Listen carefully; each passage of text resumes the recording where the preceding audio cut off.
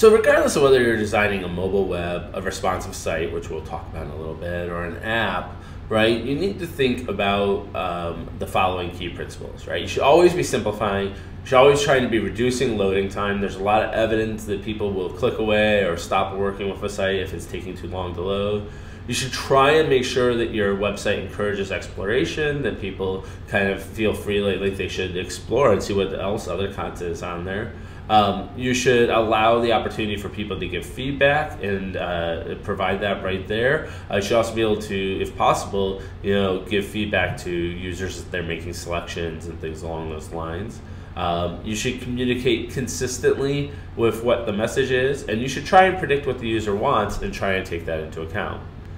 Um, in order to really kind of think about the overall user experience, uh, you know, there's this kind of a natural course of steps that you can take, right? You can start uh, by conducting research, and that's kind of we've talked about that through digital research and other aspects before. You then create a basic structure. You analyze content you already have. Uh, you create a sitemap, which is kind of a, a particular uh, inscription of the basic structure of the site. Um, you build navigation features to make sure that people can get around the website.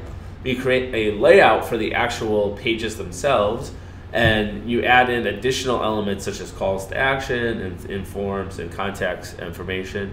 And then you define the overall visual design. Um, and it's interesting because that's like one of the last things you do. And the reason why is because really everything else is part of what we're going to call information architecture right? And adding in the visual design should be able to lay on you should be able to lay on a different visual designs onto any different information architecture you create. So designing the information architecture first splits it away from the notion of the design itself. And we're going to talk a lot more about design and visual design uh, in, in another lecture, right? Uh, but of course, once you've done all that, you also need to conduct some testing. So, you know, you should research the business, the users, and the technology, right? Figure out how to best use the technology that you want to use to connect the users to uh, the business, right? If done properly, this uh, could create a lot of data, but when you analyze it, you can discover uh, patterns, right? You can discover individual aspects of how users might interact with your technology and how they might work with your technology, right? Um, and with your business in general, right? And that's the more important aspect is using the technology not as an end in and of itself, but as a way to get the users to the business outcomes that you're trying to uh, allow them to achieve, that you want to achieve.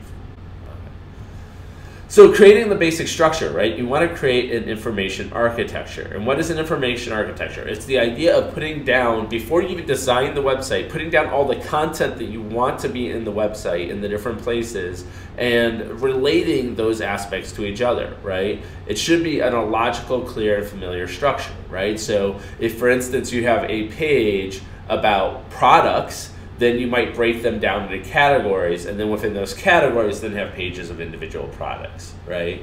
Uh, it's really crucial the usability that you divide your devise your information architecture correctly, right?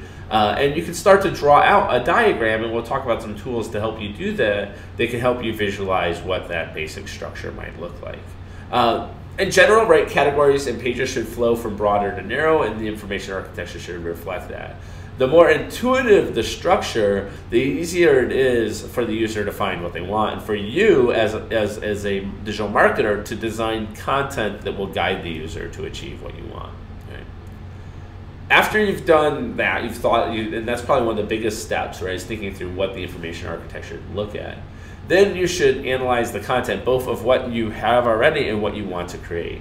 And you want to make sure that the content that you're going to put up there reflects what the site should achieve, what the user wants, what makes that, that website unique, valuable, or different, and it should all be written in a uniform tone and language, right? So analyzing the content can help you understand where those aspects need to be worked on to a large extent.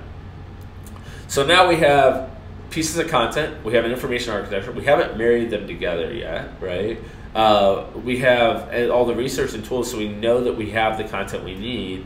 What's the next step? Well, the next step is to actually start to take that information architecture and those contents and create an actual sitemap. And a sitemap is a visualized structural plan of how the website is laid out and organized. In some ways, it is the, the glue of taking the content and the information architecture and putting them together in a way that's actually physically implementable in a website, right? Um, and so, you know, here's a classic example. You have a home, you might have different categories underneath the home that you can look at. There may be a login option that gets you to other categories or other content. Um, and in that way, you have this ability to kind of navigate through the website.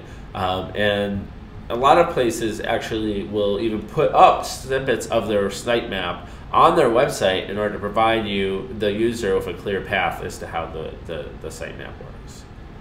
Um, Navigation is then necessary. So now you have your sitemap, you have your content up there, everything like that. Um, you should create navigational tools to help the user move through the website.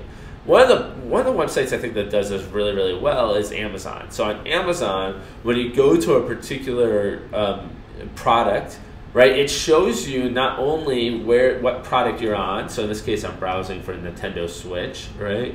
It shows me not only the exact product pages I'm on, but it also shows me uh, kind of how they're related to other content. So it shows other video game consoles across the top, right? So potential options. And then it has what we call breadcrumbs. Breadcrumbs are little pieces of information that tell you how you got to where you were. So in this case, right, you go from any category to electronics to video game consoles and accessories to the Nintendo Switch to the Nintendo Switch consoles, right? These are the breadcrumbs. They tell you how I got there. Now, some cases I might not be that I I went through each of these individually. I may have searched for Nintendo Switch and then clicked directly on one of these other categories, right? But it tells me how within their information architecture where this particular page lives, right? The other thing you should always have is an escape option, and usually this is the big logo in the upper left corner. You click it and you go back to the very beginning of the overall page, right? So um, that's kind of an example of how to build good navigation into your user experience.